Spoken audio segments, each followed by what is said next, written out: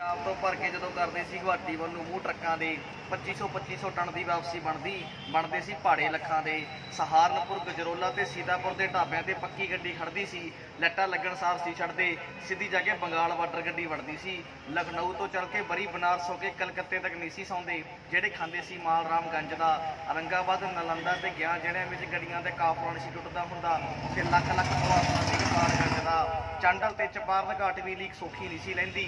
ਮਾਰਦੇ ਸੀ ਚੀਕਾ ਡਰਮ ਗੱਡੀਆਂ ਦੇ। ਪਿਜੋਰ ਤੋਂ ਐਚਐਮਟੀ ਇੰਨਾ ਢੋਦਾ ਸਾਹਮਣੇ ਹੋਇਆ ਰਾਜਸਥਾਨ ਦੇ ਸ਼ਹਿਰਾਂ ਤੋਂ।